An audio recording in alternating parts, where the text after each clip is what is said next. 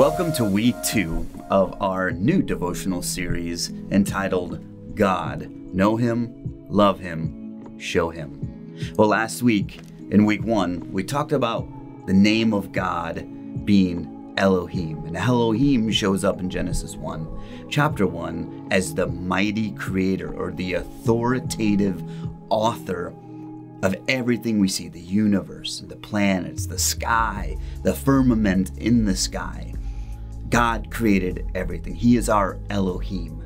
And now in week two, we want to transition from this bigger, maybe 3,000 foot view of God called Elohim to a name Yahweh. God is Yahweh. And in scripture, Elohim and Yahweh are names of God and have very similar meaning. But whenever Elohim is used, it's talking about this divine creator. But when Yahweh is introduced, it's always in a personal, human relational aspect. In Genesis chapter 2, verse 4, this is a verse I like to call the transitional repeat verse. It says, This is the account of the heavens and earth when they were created.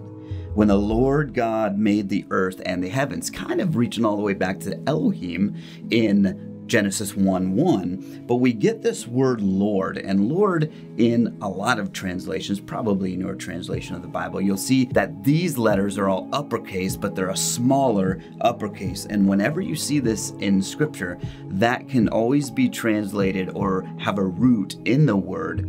Yahweh. But what this transition is this Elohim 3,000 foot view of God into this personal, I want a relationship with you kind of God. And we get the story in Exodus chapter 3, 13 to 15. You get Moses talking with God. Now, God wants him to go set the Israelites free, go to Pharaoh. And we know, if you don't know, but Moses was very concerned about this. He didn't think he was qualified. And so in verse 13, Moses says this to God Suppose I go to the Israelites and say to them, The God of your fathers has sent me to you. And they ask me, What is his name? Then what shall I tell them? Names were very, very important back in the ancient world. Names kind of noted the characteristics or brought relevancy to who you're talking about. So this is why Moses asked this. And then God said to Moses, I am who I am, which is Yahweh. This is what you are to say to the Israelites I am has sent me to you. God also said to Moses, Say to the Israelites, The Lord, the God of your fathers, Yahweh, the God of Abraham, Yahweh, the God of Isaac, and the God of Jacob, has sent me to you. This is my name forever the name you shall call me from generation to generation. So we see this transition from a creator God to a personal creator God, a God who wants to interact and be living and breathing aspects of our lives, of your life, of my life. And that's very important that we know we serve a God, a Yahweh, who wants a personal relationship with you. It's incredible. And then the whole story is about how God loves you so much that He's going to send Jesus Christ with you because we live in sin and we need somebody to be our mediator to get to God because He desires that relationship with you. The creator of the universe, Elohim, now this Yahweh God who brings a personalized version of Himself to us to interact with. And I want to close this week, and why I'm sitting down is I just want to read a story to you. This is from the book When Faith is Forbidden 40 Days on the Front Lines with Persecuted Christians by Todd Nettleton. And he tells a bunch of these stories about how God is still relating to us and wanting to have interaction with us. And he tells of a woman called Afruz. Now, Afruz tells this story they're sitting in a one room house. She says this I was studying, going to college, and working. I was under pressure. My mother and father weren't with me, so I was lonely. Therefore, I prayed to Allah to help me relax and the pressure would go away. I tried my best as a Muslim. I followed the religious orders of Islam. I did my best to get as deep as possible, gaining access to Allah as much as possible. But actually, the stress was growing and the mental pressure was beating me up and absorbing all of my energy.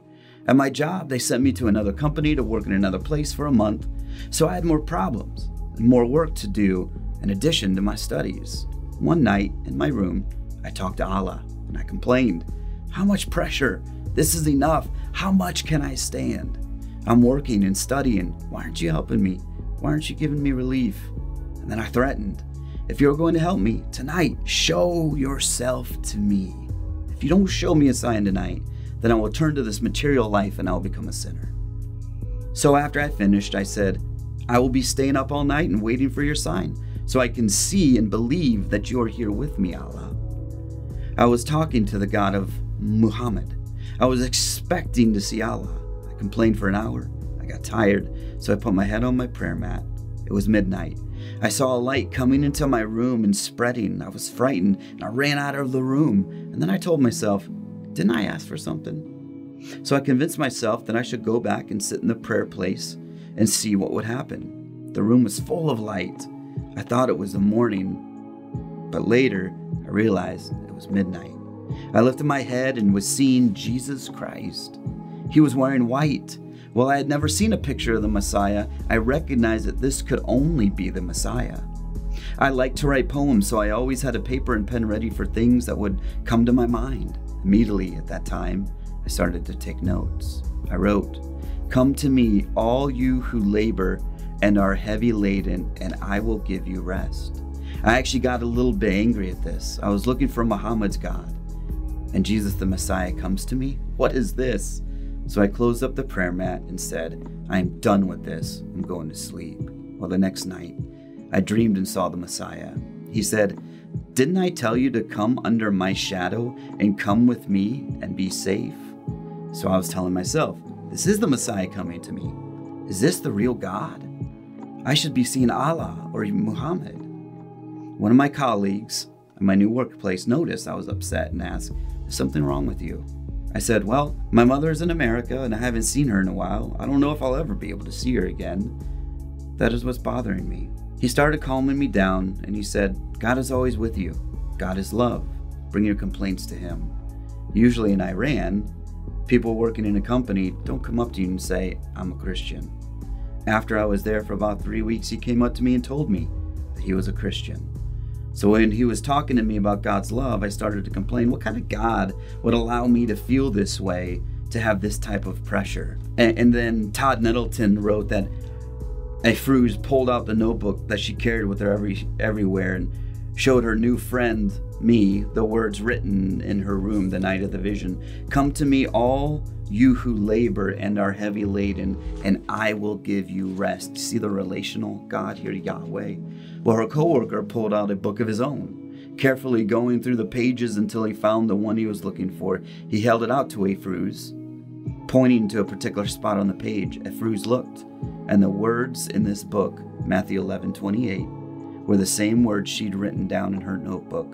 What book is this? she demanded. It was from the first Bible she'd ever seen. Her friend told her what it was and even offered to get one for her. That, Afruz told us, was the beginning of my faith. It was a first step on a long road, and the road would not be an easy one. You see, for Afruz, she was looking for a God who didn't exist Allah, the God of Muhammad. Instead, God came to her, this Yahweh God, this personal God, came to her quoted scripture to her or allowed her to write down word for word what Matthew 11 28 tells us that God is a God who wants us to come to Him, to give us rest, to not be weary. He'll be our strength. It's all over the Word of God, from the Old Testament to the New Testament, that God is our Yahweh, our personal creator who seeks to have a relationship with every single one of us. So, Go to Him. Don't be afraid to go to this Yahweh, our personal God who loves you.